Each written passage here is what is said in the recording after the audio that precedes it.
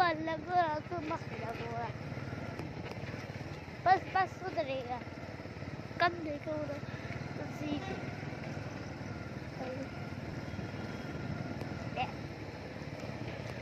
तो शिजर दे।